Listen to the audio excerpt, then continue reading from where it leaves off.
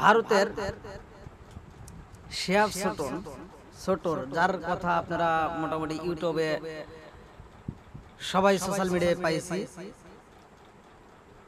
হিন্দুস্তানের কেরালার রাজ্য থেকে। উনি মক্কা মদিনায় হজের উদ্দেশ্যে রওনা দিয়েছেন। তার কাগজপাতি করতে এক বছর লেগেছে। এই বিষয়টা নিয়ে অনেকের সমালোচনা শুরু হয়ে গেছে। প্রতিদিন তিনি পঁচিশ কিলোমিটার রাস্তা হাঁটেন। প্রতিদিন। এবং কোনো হোটেলে রেস্ট না নেওয়া উনি মসজিদে রেস্ট নেওয়ার জন্য চিন্তা ভাবনা করতেন।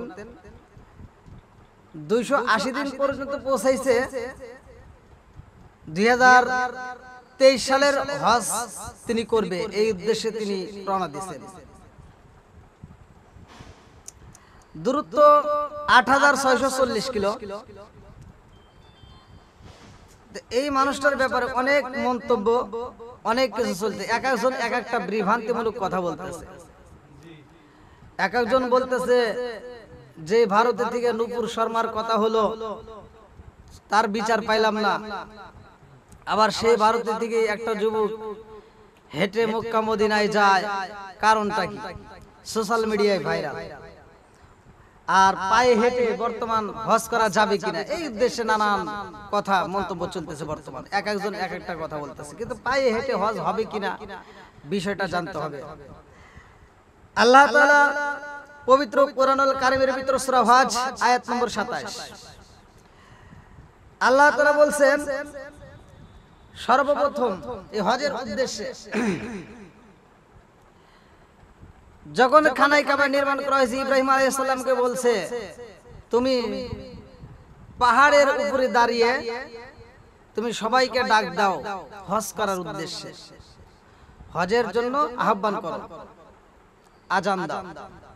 ইব্রাহিম আলাইসাল্লাম বললেন যে আমি আজান দেব আহ্বান করব মানুষকে হজ করার জন্য বলব। যারা দূরবর্তীতে রয়েছে তারা কেমনে জানবে? আল্লাহ তাআলা বললেন যে সে আওয়াজ তাদের মাঝে পৌঁছানোর দায়িত্ব আমি আল্লাহ বন্ধুরা রে আমার। আমার আল্লাহ তাআলা পবিত্র কোরআনুল কারীমের ভিতর বললেন ওয়া ইদ ইয়ারফাউ ইব্রাহিমুল কওয়াইদা মিনাল বাইতি ওয়া ইসমাঈল। আরে ইব্রাহিম আলাইহি ওয়াসাল্লাম ইসমাইল আলাইহি ওয়াসাল্লামের সাথে নিয়া গো। বাপ বেটা দুজনে মিলিয়া খানাই কাবা তৈরি করে রে বন্ধু। বাপ বেটা মিলিয়া দুইজন মিলিয়া খানাই কাবা নির্মাণ করে। পৃথিবীতে একটা মাত্র ঘর, পৃথিবীতে একটা মাত্র ঘর। যেই ঘরের সাদ দেওয়া হয়েছে, কোন রড দেওয়া হয় নাই। যেই ঘরের সাদ দেওয়া হয়েছে, কোন বালি দেওয়া হয় নাই। আরে পৃথিবীর জমিনে একটা মাত্র ঘর।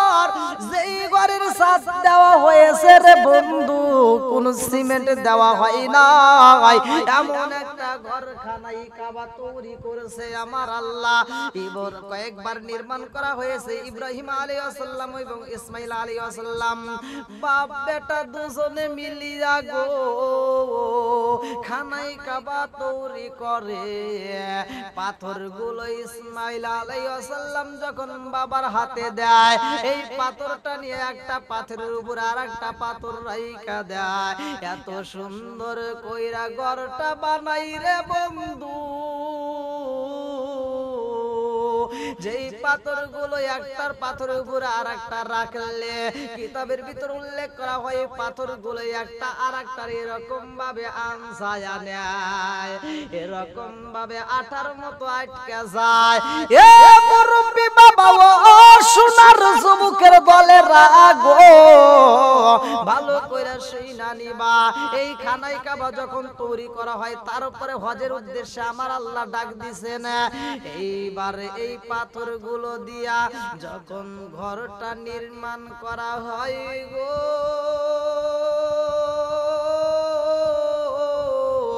একদিন, দুই দিনে হয় নাই, অনেক দিন সময় লাগছে ঘরটা নির্মাণ করতে। বাপ বেটা এত সুন্দর করে ঘরটা বানাইছে রে বন্ধু। এই ঘরের কাজ কমপ্লিট এই ঘরের কাজ কমপ্লিট হয়ে যায়, কিছু কিছু পাথর টুকরা নিচে পইরা যায়। সাইটে সাইটে যে নিচে পইরা যায় ইব্রাহিম আল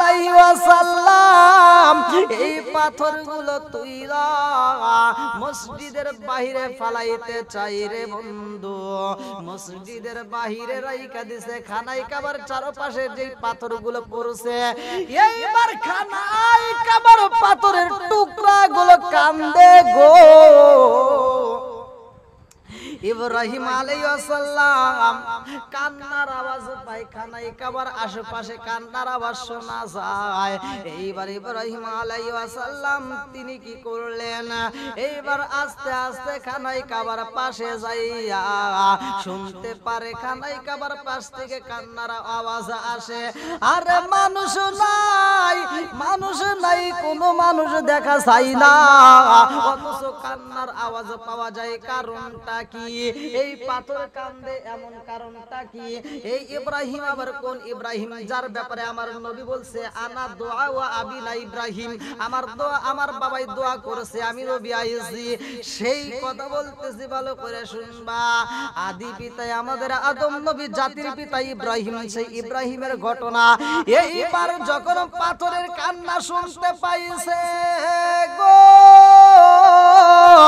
ইব্রাহিম এইবার পাথরের সামনে যাইয়া দেখে পাথর কান্দে। ইব্রাহিম নবী আল্লাহর দরবারে কান্দার কয়, আল্লাহ গো! আমার জীবনে তো এটা কোনোদিন দেখি নাই। পাথর কান্দে, পাথর যে কান্দে, এটা তো আমি জানি না। আল্লাহ কই তুমি জানো না, ও ইব্রাহিম, পাথরের আছে।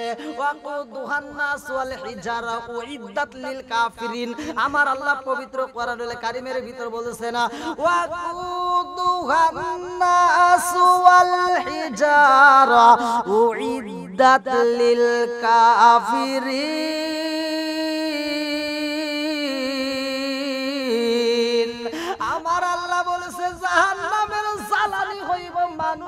পাথর গো। ওয়াকুদুহান নাস ওয়াল হিজারা উইদ্দাত লিল কাফিরিন। জাহান্নামের জ্বালানি হবে মানুষ আর পাথর। মানুষের ভিতরে প্রাণ আছে, পাথরের ভিতরেও প্রাণ আছে রে বন্ধু। আল্লাহ কইব রাহিম ও আমার খলিল। আপনি যাইয়া জিগান পাথরের মনের ভিতরে কি এমন দুঃখ রয়া গেছে? এইবার ইব্রাহিম নবী যাইয়া পাথর হাতে নিছে গো। পাথরের টুকরা হাতে নিয়া ইব্রাহিম নবী কয়, তুমি কেন কান্দ? তোমার মনের ভিতরে কি এমন দুঃখ রয়া গেছে? পাথর আরও বেশি কইরা কান্দে গো।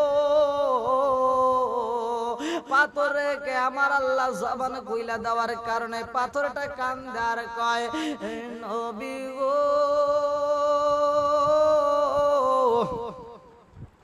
আমি কান্দি আমার মনের ভিতরে অনেক কষ্ট। আমার মনের ভিতরে অনেক দুঃখ গো নবী গো। ইব্রাহিম নবী কয়, তুমি পাথরের ভিতরে কি এমন দুঃখ রয়ে গেছে? তোমার ভিতরে কি এমন সমস্যা? পাথরের টুকরা গুলো কান্দার কয়, হে নবী গো, আমাদের কপাল পুইরা গেছে গো নবী। এই পুরা কপাল বুঝি জোড়া লাগবে না। আমরা এই পাথরের টুকরা গুলো আমাদের কপাল খারাপ বিদায় তো আমরা পইরা গেছি। হুজুর গো হুজুর গো হুজুর গো। আমাদেরকে আপনি কি করবেন? বলে এখান থেকে তোমাদেরকে ঝাড় দিয়ে একটা টুকরির ভিতরে বইরা তোমাদেরকে আমি দূরে ফালাইয়া দিব জঙ্গলের ভিতরে ফালাইয়া দিব ওই খানাই কাবার আশেপাশে ফালাইয়া দেব পাথরের টুকরা গুলো কান্দার কয় হুজুর আমাদেরকে পালাইয়া দিয়েন না। আমাদেরকে পালাইয়া দিয়েন না। এই খানাই কাবার সাথে যেই পাথরগুলো এটাশ হয়ে গেছে গো নবী। ওদের কপাল ভালো ওদের ভাগ্য ভালো, ওদের নসিব ভালো। ওরা খানাই কাবার সাথে লাইগা গেছে।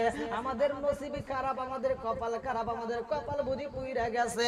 এই জন্য আমাদেরকে নিচে ফালাইয়া দিয়েছেন গো নবী। আমরা কান্দি একটা মাত্র কারণ গো নবী। আমাদেরকে দূরবর্তী জায়গায় পালাইয়া দিয়েন না। আমাদেরকে এই খানাই কাবার সাথে লাগাইয়া দেন। আমাদের খানাই কাবার সাথে একটু জায়গা কইরা দেন। হুজুর গো খানাই কাবার ভিতরে আমাদের একটু জায়গা কইরা দিবেন নি আল্লাহ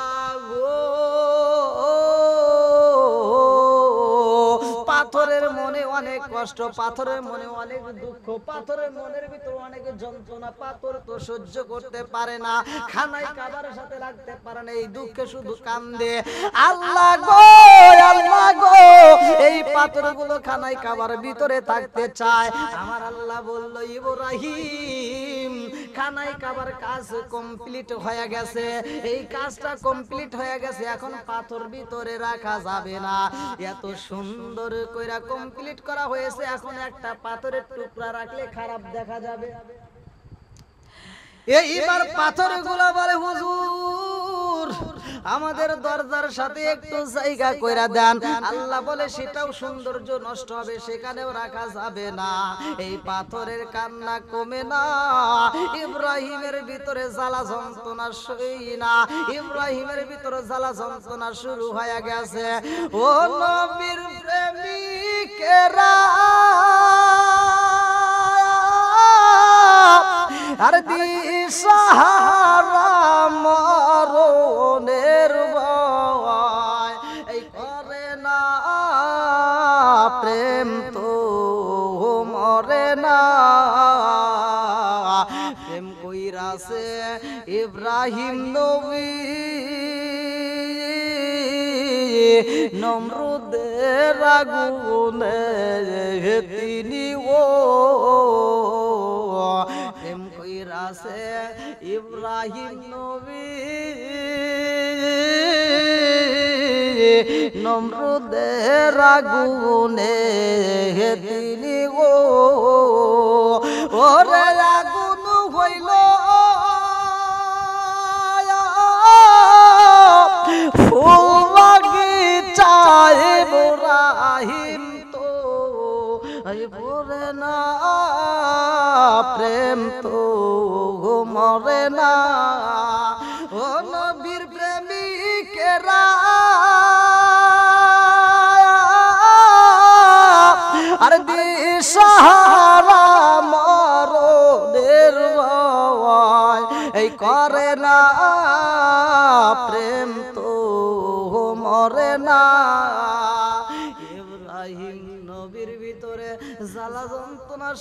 হয়ে গেছে গো। পাথরে কান্না দেইকা সহ্য করতে পারে না। ইব্রাহিম নবী কয়, আল্লাহ গো।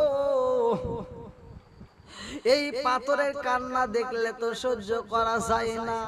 আমার আল্লাহ কয়, ইব্রাহিম গো, ও ইব্রাহিম, এই পাথরের টুকরাগুলো একত্রিত করবা। এই পাথরের টুকরাগুলো একটা রুমালের ভিতর ভরবা। এইবার রুমালের ভিতর ভরা হয়।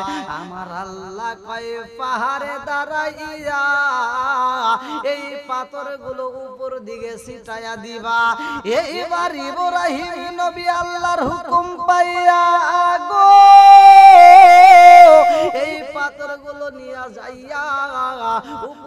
দিকে দিছে রে বন্ধু ছিটাইয়া দিয়া কান্দে আর এই পাথরগুলো ছিটাইয়া দিতে বললাই, উপর দিকে আমি দিলাম। এই পাথরগুলো নিচের দিকে কোথায় কেমন পড়ল এটা তো বুঝলাম না, কারণটা কি? আমার আল্লাহ কয়, ইব্রাহিম এই পাথরগুলোর কান্না দেখে তুমি সহ্য করতে পারো নাই। তোমার ভিতর মায়া লাগেছে। আমি আল্লাহর ভিতর মায়া লাগছে। এই পাথরগুলো আমি নষ্ট হতে দিলাম না। এই পাথরগুলো আমি তামাম দুনিয়ায় সিটাইয়া সিটাইয়া মসজিদ বানাইলাম। ইব্রাহিম নবী কয়, আল্লাহ গো! এই পাথর যদি পাহাড়ের উপর পড়ে, তাইলে পাহাড়ে কি মসজিদ হইব নি? আমার আল্লাহ বলে, পাহাড়ের উপর যদি এই পাথরের টুকরা পড়ে, সেখানেও মসজিদ হবে। ইব্রাহিম নবী কয়, আল্লাহ গো, নদীর ভিতর যদি এই পাথর পড়ে নদীর ভিতর মসজিদ হবে নি? আমার আল্লাহ বললেন, সেখানেও একটা মসজিদ হবে। যেইখানে মসজিদের পাথরগুলো পড়বে গো, সেইখানে মসজিদে হয়ে যাবে।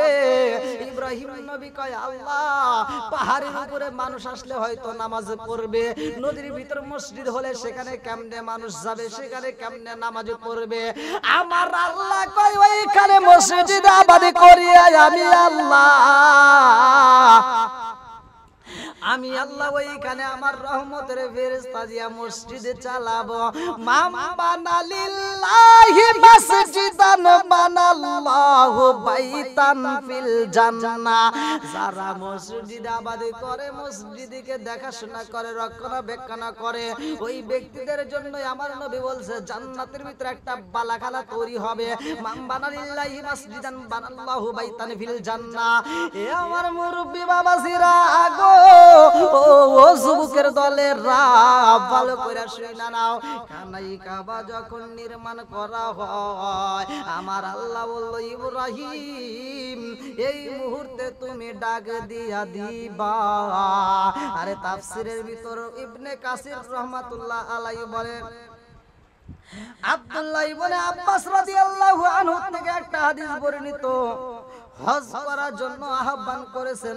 সারা পৃথিবীর মানুষের কাছে এই আহ্বান আল্লাহ তালা দিলেন পৌঁছায়ারে বন্ধু। এইবার তারা আসবে কেমনে এটাও ঘোষণা কইরা দেওয়া হয়। সারা পৃথিবীর মানুষের কাছে আওয়াজ যখন পৌঁছায় যাবে গো, তারা দুইটা পদ্ধতিতে হজের জন্য রওনা হবে। এক নম্বরে তারা উটের পৃষ্ঠে সইরায় আসবে অথবা ঘোড়ার পৃষ্ঠে সইরায় আসবে। আরে উটের পিঠে চইরা, সোয়ার কইরা হজের উদ্দেশ্যে আসবে গো। যাদের উঠে আসার সম্ভাবনা নাই, এ সামর্থ্য নাই, তারা পায়ে হাইটা আসবে, তাতে কোনো সমস্যা নাই। একটা হলো উটের পিঠে সোয়ার, দুই নম্বর হলো পায়ে হাইটা। তাহলে দুইটা পদ্ধতিতে হজ করা যাবে। তাহলে ভারতের শিয়াব সোটর যেই যুবক হজের জন্য পায়ে হেঁটে রওনা দিছে আমরা তার বিরোধিতা কেন করি? একটা মানুষের খারাপ সমালোচনা করাটা এটা ইসলাম সমর্থন করে না। তার ভালোর দিকগুলো তুলে ধরতে হবে। আমরা কেন খারাপ দিক আমরা চিন্তা করব? সে পায়ে হেঁটে যাচ্ছে। অনেকে বলতেছে সেটা ভাইরাল হওয়ার জন্য। অনেকে বলতেছে এর ভিতর কোনো কিছু আছে গোপন তত্ত্ব। না এত খারাপ কেন মন্তব্য করব? হয়তো যদি কোনো ব্যক্তি পায়ে হেঁটে যায়, অর্থাৎ একটা তুমি দিতে পারো হাদিসের ভিতরে আসছে, বুখারি শরীফের হাদিস এক হাজার আটশো পঁয়ত্রিশ নম্বর হাদিস, এক বিদ্যা সন্তানের, দুই সন্তানের দুই কাঁধে ভর দিয়ে যখন হজ করার জন্য আসতেছে, আমার নবী বললেন, তুমি এরকম ভাবে কেন আসতেছো? তুমি পারতা, তুমি উটের পৃষ্ঠে সওয়ার হয়া। কিন্তু তুমি এত কষ্ট করে কেন আসতে কারণ ইসলাম কষ্ট দিবে বা কষ্ট হবে এমন কিছু সমর্থন করে না। আর দিনও ইসরুন, দিন হচ্ছে সহজ। দিন হচ্ছে সহজ। আমরা সেই সহজটাকে সহজ না রেখে আমরা কঠিন করি। এটা ঠিক না। এই জন্য আল্লাহ তালা বলছেন যে দিন হচ্ছে সহজ। আর দিন ইসরুন দিন হচ্ছে সহজ। আমরা যে এই হজে যাব, আমার সামর্থ্য আছে, আমার সামর্থ্য আছে, আমি হজে আমি যানবাহনে যাব, আমি কেন হাইটে যাব? সেটা যদি কোনো ব্যক্তি ইচ্ছাকৃতভাবে যায় তার হজ হবে, কিন্তু এটা জুলুম করা হয় তার শরীরের দিক দিয়ে। আর আল্লাহ তালা এটা নিষেধ করছে যে যেটা কষ্ট হয় সেটা করা যাবে না। যেমন উনি হাঁটতে হাঁটতে দুইশো আশি দিন যাওয়ার পরে ওনার পায়ে কিনা ফোকসা পড়ছে সোশ্যাল মিডিয়ায় বলছে। তাহলে এই একটা শরীরের উপর কষ্ট শুরু হয়ে গেছে। তাহলে এই কষ্ট করে যেতে যাওয়া, এটা এটা কেমন জানি ইসলামের ভিতর এটা আসে যে যেটা ইসলাম সমর্থন করে না। ইসলাম বলছে যে সাহস। তাহলে আমি কেন কঠিন কাজ তার সামর্থ্য আছে। আর আল্লাহ রসুল বলছে, হজ করবে ওই ব্যক্তিরা, যাদের সামর্থ্য আছে। যাদের সামর্থ্য আছে, হজ করার মতো হজে আসবে, যাতায়াত, বহন এবং থাকা খাওয়া আনুষাঙ্গিক, যাদের নিত্য প্রয়োজনীয় ঘরের আসবা নিত্য প্রয়োজন বাদ দিয়ে হজে আসবে, যাবে বা আনুষাঙ্গিক খরচ করার মতো যার সামর্থ্য আছে, ওই ব্যক্তিটা হজ করবে, তার উপরে আল্লাহ তালা হজ খরচ করছে। তাহলে এই হজটা আমরা, আমার যদি সামর্থ্য হয় থাকে, তাহলে আমি যানবাহনে যাব। তাই যাই হোক সে হাইটা যাচ্ছে, সেটা আল্লাহ তালা জানে, তার মনের বাসনা, আল্লাহ তালা সবকিছুর মালিক। আমরা এ নিয়ে সমালোচনা করব না।